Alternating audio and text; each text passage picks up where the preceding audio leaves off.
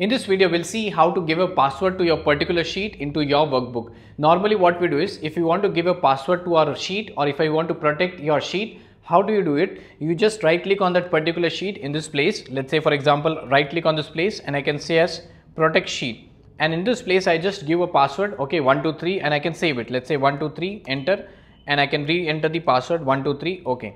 So this way my sheet gets protected. If I try to do anything in this place, it will not work. This area also will be, you know, disabled. They will not be enabled here. They'll be disabled. If I try to type something at this location, it will throw an error message. Okay, I'll just click on OK. Now, if you want to unprotect a workbook, you just right click on this details and uh, unprotect work, unprotect sheet, one, two, three, enter. Okay, this is how you work without the macros. In case if you want to do the same thing with the help of macros, how do you do that? You can see here I'll go to developer, I'll go to this Visual Basic. I've already written a code here, okay, in this place. I'll just close this. I'll just minimize this window, okay. And if you see the last one that is J sheets underscore protection. So I've written this module here, okay, and written a code that's a macro code here. Sub procedure that is protect unprotect sheet. In this I've written something here. Let's see what it is. First thing is I've given the sheets and the sheet name, okay, sheets and the sheet name that is details. If you observe, I'm talking about this sheet. This is what you call this sheet, that is details. Sheets, sheet name dot protect space password I've given us 1 to 3, okay. Details dot protect space password colon equal to 1 to 3, that's a password I've given here.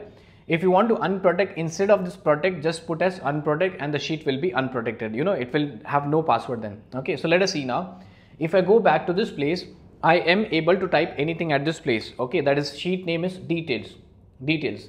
If I go and execute that, okay, if I open that dialog box again, VB editor, keep my cursor here. I'll show you if I execute, click on step into, step into, and after it is executed, if I click on this step into, now my sheet has been protected. If this line has been executed, the password is given as 123. Let us verify, cross verify if I keep my cursor and if I try to type here, it again gives a message. That is one method. Second is if I right click on this details tab, if I right click on this details tab and if you see it says as unprotect sheet, that means already a password is given at this place itself. Okay, so it's working fine, right? If I go back to this VB editor, now, after this, if I want to unprotect dot unprotect space, give the password colon equal to and the value I have to give. If I click on this step into, let me go and check back again. If I keep here cursor and just type anything, it's still working. Okay.